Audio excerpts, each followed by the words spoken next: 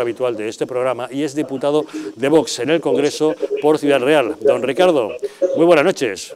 Buenas noches, Javier, ¿cómo estáis? Muy bien, cuéntenos, don Ricardo, ¿cómo es posible que Ciudad Real precisamente sea el lugar en el que se dan unas cifras de coronavirus eh, tan largas en cuanto a contagiados y fallecimientos? Bueno, yo creo que es una unión pues, de, de negligencia por parte también de la gestión desde el punto de vista del SESCAM, de la presidencia y de la Junta de Comunidad de Castilla-La Mancha y realmente estamos sufriendo pues un embate dramático en toda Castilla-La Mancha y especialmente en la provincia de Ciudad Real. Eh, la actitud de la Junta de Comunidad de Castilla-La Mancha desde el principio pues ha sido bastante negligente desde mi punto de vista y contradictoria. En un primer eh, momento se negó absolutamente, como hizo el Gobierno de España, eh, la realidad de, de esta pandemia eh, incluso tuvimos que sufrir eh, unas declaraciones de Emiliano García Paje el 12 de marzo en las que decía que éramos una sociedad que había decidido no confinarse y que lo que querían algunos era cogerse 15 días de vacaciones. De hecho, el 12 de marzo, que ya se habían cerrado los colegios, por ejemplo, en la Comunidad de Madrid se habían tomado medidas ya desde el lunes, eh, esto es un jueves y estas fueron sus declaraciones. Al día siguiente, evidentemente, después de ya del estado de alarma, tuvo que tomar medidas, pero es que de manera posterior Emiliano García Paje primero echó balones fuera con lo que le estoy contando, eh, que decía que éramos una sociedad que había decidido no confinarse, luego tomó medidas, a la semana siguiente echó balones fuera echándole la culpa al gobierno central, que es de su mismo partido, porque además están en unión, y además las declaraciones que él hizo el jueves 12 de marzo fundentes, o sea que yo creo que él también tiene responsabilidad, igual que Pedro Sánchez,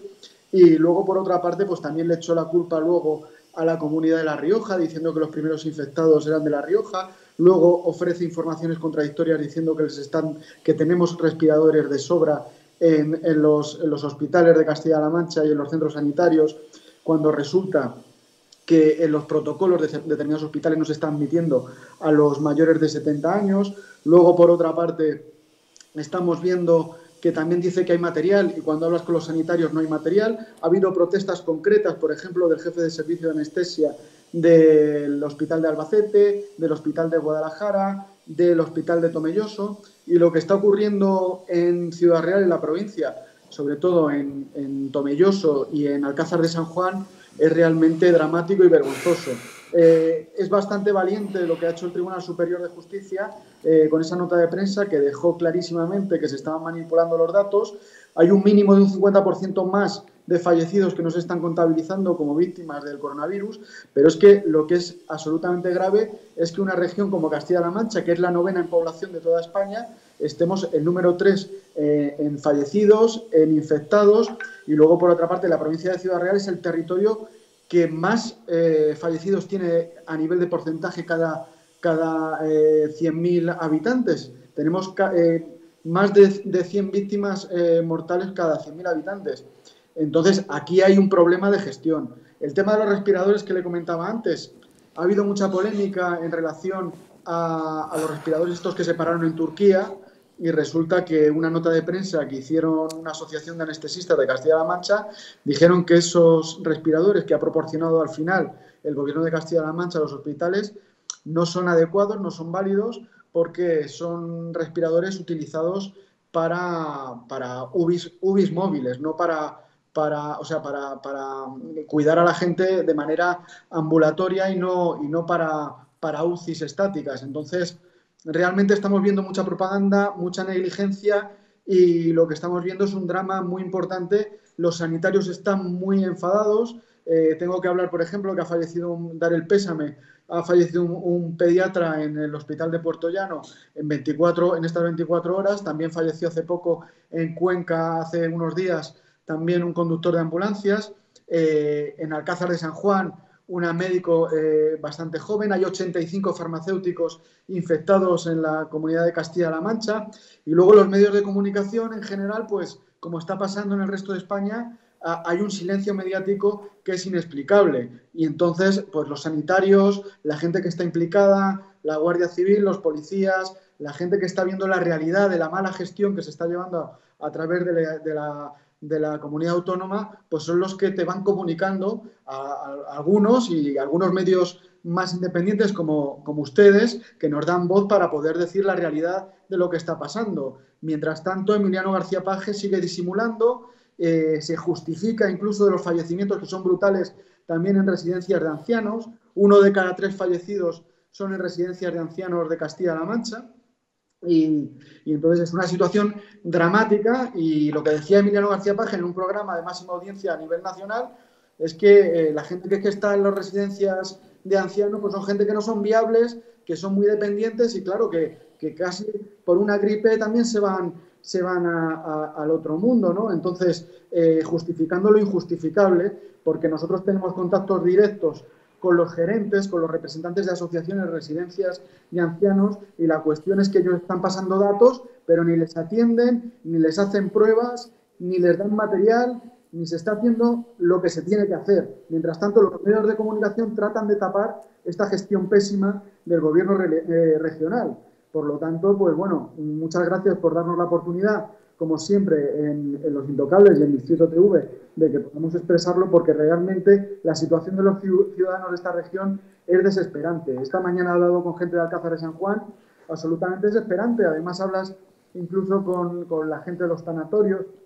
y, dicen que, que los fallecimientos son muchísimos más de lo que se están comentando. Y no es una cuestión de alarmar, sino realmente si vemos dónde está el problema, se podrán acometer las soluciones. Pero disimulando y tapando lo que está ocurriendo, no es normal que una región como Castilla-La Mancha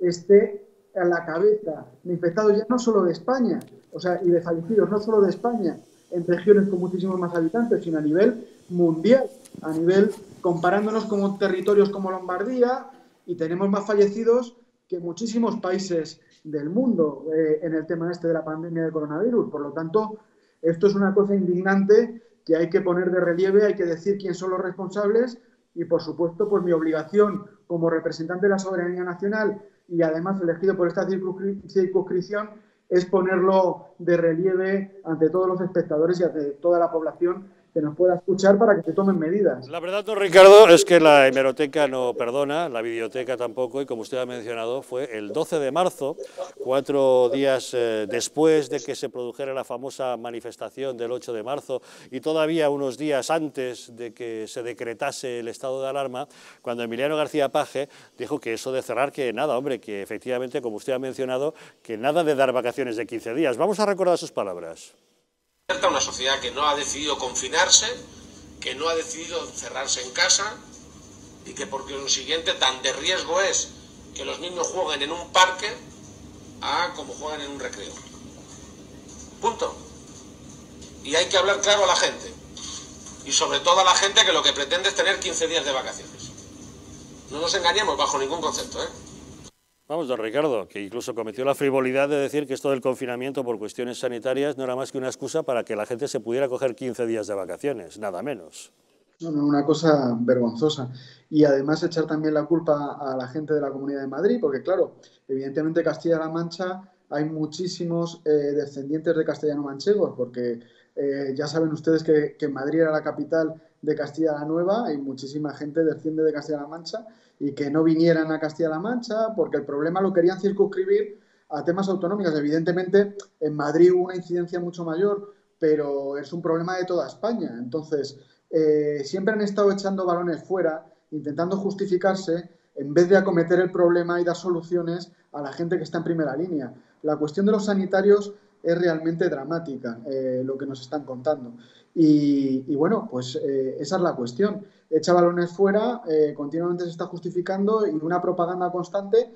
apoyada en determinados medios de comunicación que no están dando la realidad. Menos mal, gracias, gracias a Dios, que hay gente que valiente y medios de comunicación que lo están diciendo, pero no por nada, o sea, no por alarmar, sino porque, vuelvo a repetir, que creo que la, solución a, a estos problemas es ver dónde están los fallos. Y no es normal que Castilla-La Mancha, una región con, muy, con poca población, como he dicho antes, la novena en población de España, sea un territorio que tenga más fallecidos que muchos países del mundo. Entonces, Chamorro, y cuéntenos, Emiliano García Paje ha puesto ya en funcionamiento ese hospital de Toledo con 800 camas que al parecer está ya terminado, pero aún no había entrado en funcionamiento.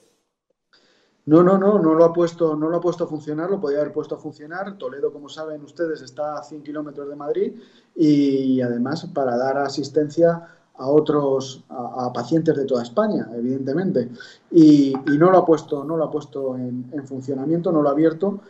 porque además es que él dice que sobran, que sobran camas, ¿no? Que sobran camas, que sobran respiradores, y vuelvo a repetir, es lo, lo que dicen, eh, dicen lo contrario pues todos los, sanitarios y los jefes de anestesia de los distintos hospitales de Castilla-La Mancha,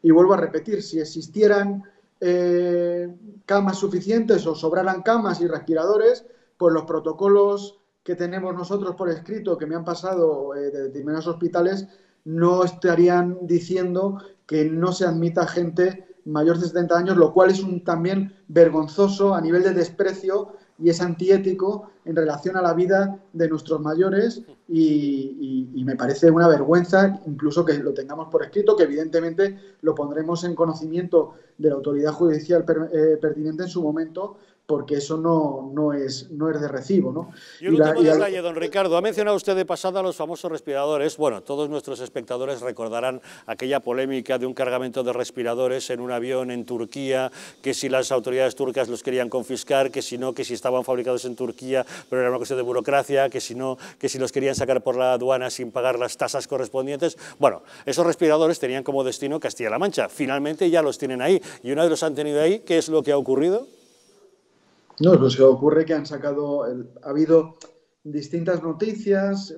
distintos mensajes de sanitarios que han estado diciendo que no eran válidos, que no eran adecuados, pero ya lo definitivo fue la carta de una asociación de anestesistas de Castilla-La Mancha, que son precisamente los que gestionan también pues este, este tipo de herramientas eh, para la asistencia a enfermos críticos en, en UCIs, diciendo que no son adecuados, que son anticuados, que además pues eh, no sirven desde el punto de vista de que son para eh, eh, personas que necesitan cuidados en, en ambulancias, por ejemplo, ¿no? ellos comentan en su carta además que se adaptan, se han adaptado hasta ahora, porque precisamente por la situación de alarma, pues han tenido que apañarse con lo que han ido encontrando y adaptando incluso respiradores que no eran completamente adecuados a la situación. Lo que les molesta sobre todo es que se ha ya intentado hacer una propaganda cuando realmente esos respiradores que le han dado tanto Paulo por parte del gobierno regional no, no son los adecuados, son anticuados y no son eh, respiradores adecuados para una UCI. Pues vaya, porque después de tantísima polémica, de tanto decir que qué pasa con los respiradores, que si Turquía, que sí, que no, y resulta que llegan aquí y no valen porque son para adaptar en ambulancias y no para hospitales. En fin, cosas que pasan. Don Ricardo Chamorro, diputado de Vox por Ciudad Real, muchísimas gracias por atender la llamada de los intocables. Quiero dar el pésame a todas las víctimas de este coronavirus y bueno, pues muchísimas gracias por darme voz y feliz Pascua a pesar de, la situación que tenemos en España. Gracias. Muchas gracias.